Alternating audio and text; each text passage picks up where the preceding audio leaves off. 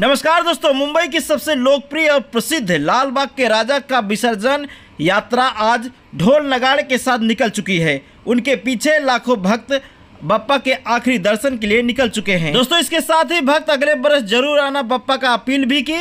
आप देख सकते हैं तस्वीरें किस तरीके से शानदार तरीके से गणपति लाल चा राजा का विसर्जन किया जा रहा है।